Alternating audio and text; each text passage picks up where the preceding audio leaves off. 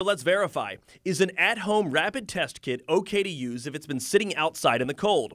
Our sources are the Food and Drug Administration, some test kit manufacturers, and Dr. Amesh Adalja, an infectious diseases specialist with Johns Hopkins University.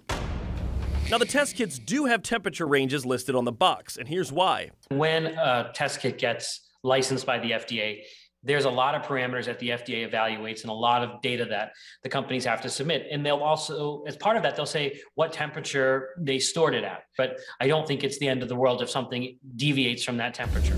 Well, we took it a step further and checked with a few popular test kit makers to get a few more guidelines for you. Abbott, the maker of BinaxNOW, said in a statement, quote, store it between 35.6 degrees and 86 degrees Fahrenheit. And the test should be kept within this range. But if the test is stored outside the temperature range for a relatively short period of time, you know, for a couple of hours or up to a day or two, it'll be fine to use, but it's important that the test and its components be used at room temperature. An Ellume spokesperson told us if the product is exposed to extreme temperatures, it could damage the test and trigger a test error rather than a false positive. On iHealth Lab's website, the fine print says to store it in a dry location between 36 and 86 degrees Fahrenheit. It warns any extended exposure of the test kit to temperatures beyond this range may affect quality of test results, but it doesn't list a time frame.